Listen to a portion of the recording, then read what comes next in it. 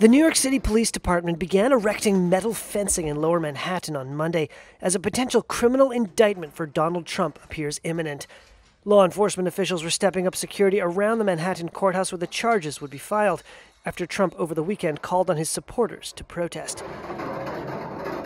Manhattan District Attorney Alvin Bragg is probing alleged hush money payments made by Trump's former attorney, Michael Cohen, to an adult film star who claimed to have had a sexual affair with the former president, claims Trump denies.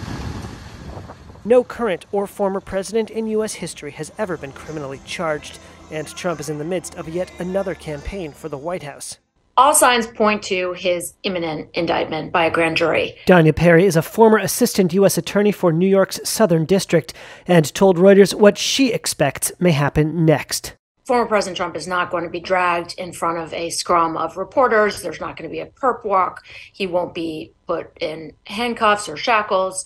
He will self surrender, but he will have to go through all of the normal procedures that any defendant who is charged in federal criminal court or state criminal court has to go through, including having a mugshot taken, having to be processed through the system, and having to be arraigned in front of a judge, and um, having to enter a plea. In this case, it will surely be a not guilty plea.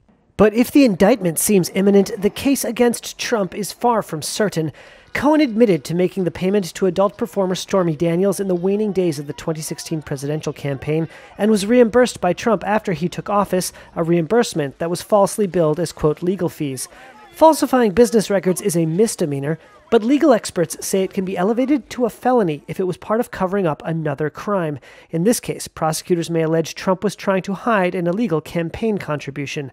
James Sample is a law professor at Hofstra University what makes it especially uh, and potentially criminal is that when he paid her in this way, if in fact that's what happened, he then wrote off that expense as legal expenses, when in fact that would be um, essentially a contribution, um, a significant contribution, um, and not a legal expense by any stretch of the imagination. Federal prosecutors charged Cohen with election law crimes related to the payment. He pleaded guilty, served prison time, and has emerged as a likely key witness in Bragg's investigation.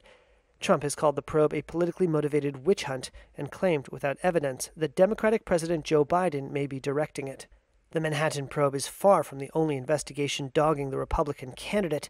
A Georgia prosecutor is looking into Trump's efforts to undermine the 2020 election results in that state, and the U.S. Justice Department has named a special counsel to investigate Trump's illegal retention of classified documents, as well as his involvement in alleged efforts to subvert the 2020 presidential election.